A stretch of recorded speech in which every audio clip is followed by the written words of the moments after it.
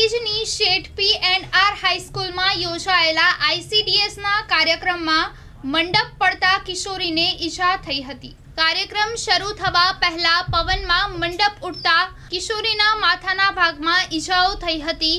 કિશોરીને માથાના ભાગે ઈજાઓ થતા સ્થાનિક હોસ્પિટલમાં સારવાર માટે ખસેડવામાં આવી હતી.